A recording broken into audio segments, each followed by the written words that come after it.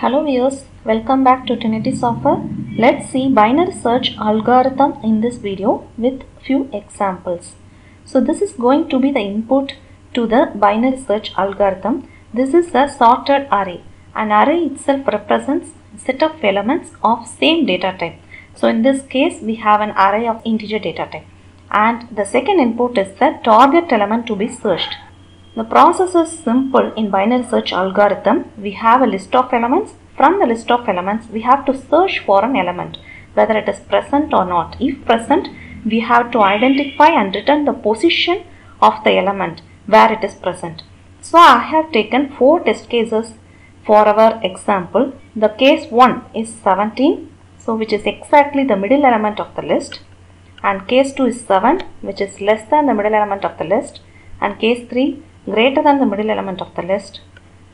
And the case 4 10 is not at all present in the array. So we are going to apply this binary search algorithm to these examples. For any algorithm we need an input to be processed by the algorithm and then the output. So the input here is a sorted array.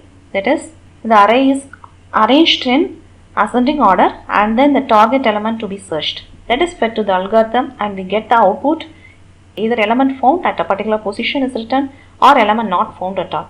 So this is the pseudocode. It's simple. Pseudocode actually represents a algorithm written in simple English. This is not specific for any programming language but you can convert this pseudocode to a program using any programming language. So the first step here is we are taking two variables low and high and setting it to certain value. Low is 0 and high is set to n minus 1.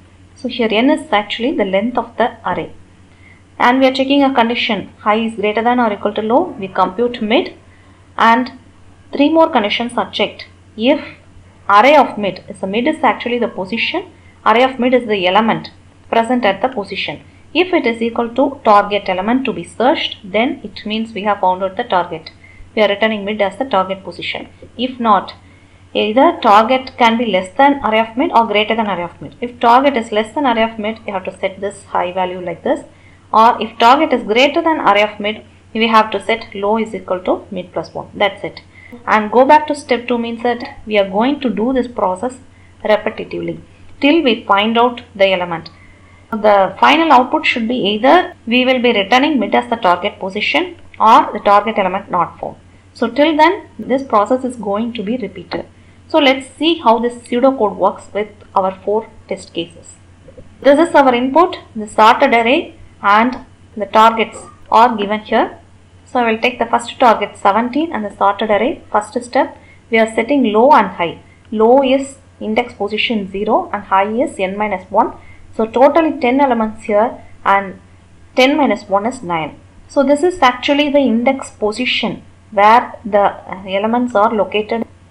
The first element is present at index position 0 and if you have 10 elements the last element is present at index position 10 minus 1. So the second step is we are going to find out the value of mid. It is the average of low and high. So in this case 0 plus 9 by 2 will give you 4.5 but we are rounding it to integer. So it is 4 mid is pointing to position 4 and whenever you are calculating mid before that you have to check the condition. High should be greater than or equal to low. Only then you can compute mid if not if high is less than low you can directly print the message that target element not found. The next step is array of mid equals target. Yes of course our target is 17 array of mid is 17 so it means we have found out the target element and we are returning the position. 17 is found at position 4. That's it. For case 1. And for case 2, the target element is 7, which is less than the mid element. The first few steps are the same. First, I'm setting low and high and computing mid.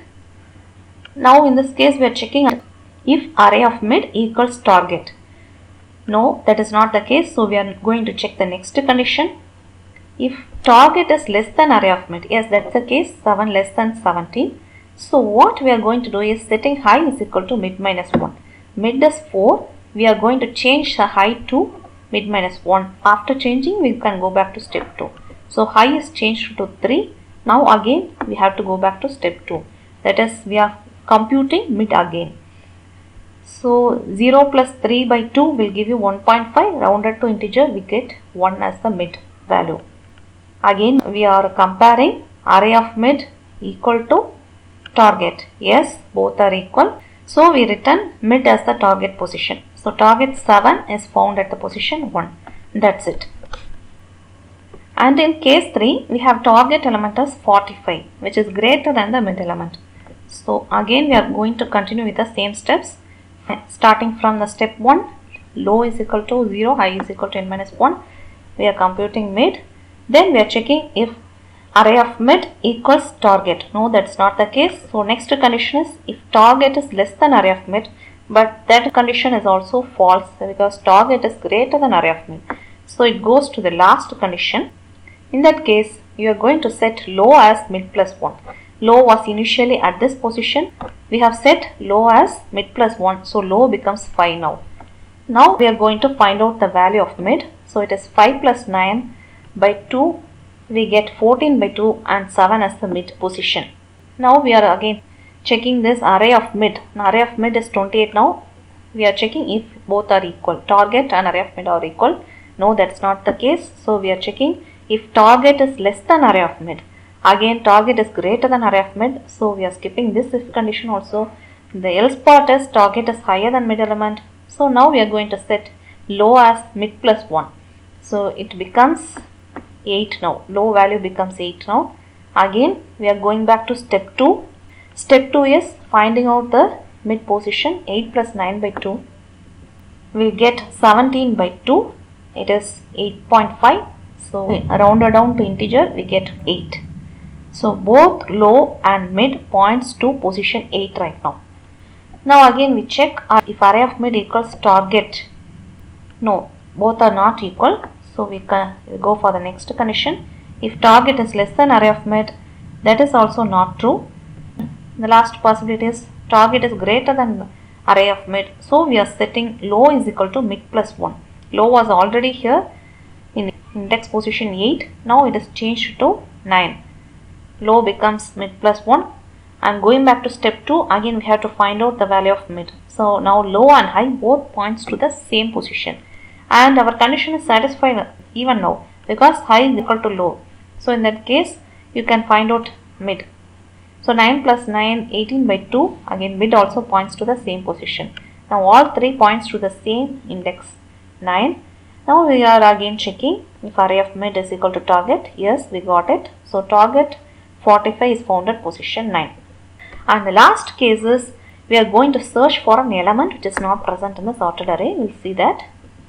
So as usual first we are setting low and high. We are finding out mid value and we are checking array of mid equals target. No, that is not equal. And second condition is target is less than 17. Yes, of course it is less than 17. So we are setting high is equal to mid minus 1. Okay, and going back to step 2 step 2 again we have to find out mid value now so 0 plus 3 by 2 we get 1.5 rounded to 1 mid is pointing to 7 again we are checking if array of mid 7 is equal to target no that's not the case target is greater than 7 target less than array of mid is checked no so the last condition we are setting low is equal to mid plus 1 so low was initially here we are setting it to mid plus 1 so it is pointing to index position 2 now. Here we are checking if high greater than or equal to low. Yes, in this case we have high greater than or equal to low.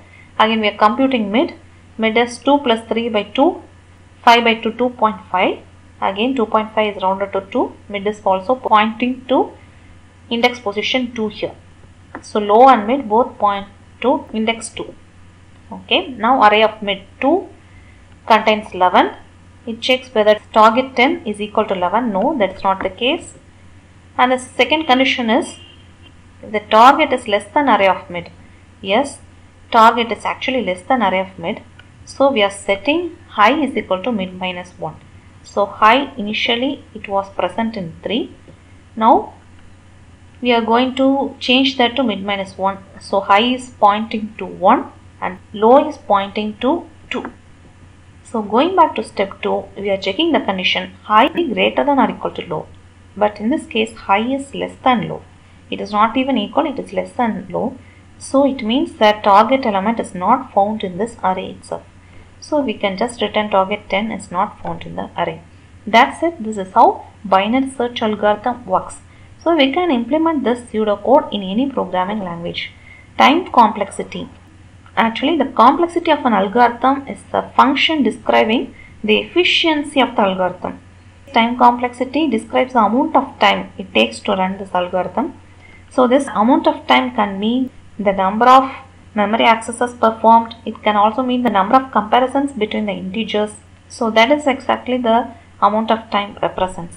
So in case of binary search algorithm, the time complexity is represented by order of log n. In case of linear search algorithm, time complexity is order of n. So comparing linear search and binary search, binary search is considered as an efficient algorithm. Okay, that's it about binary search algorithm. Thanks for watching. Kindly subscribe for more videos on programming concepts.